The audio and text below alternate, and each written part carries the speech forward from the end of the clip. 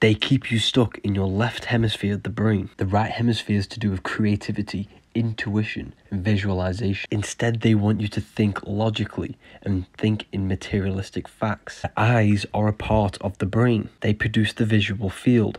The brain then creates the perception of the visual field. For example, if you're in a woods, the right hemisphere sees a holistic view of reality.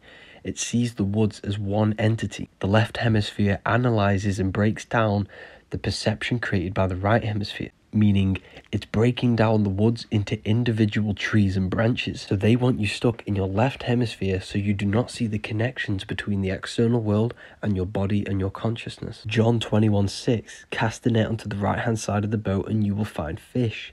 This is symbolic for moving your perception into the right hemisphere of the brain to see a unified perception of reality, to see the links between all things. For example, how you have five fingers, five points on the body for the five elements. In school, you are told to think logically, you're told what to do. You cannot create, you cannot use the right hemisphere. Spotify, Apple Music, and all of the music is tuned to 440 hertz, which shuts down the right hemisphere of the brain. Your mind is not your brain. The brain's the computer, your mind's the invisible intelligence controlling the brain. The right hemisphere controls the left eye and the left side of the body.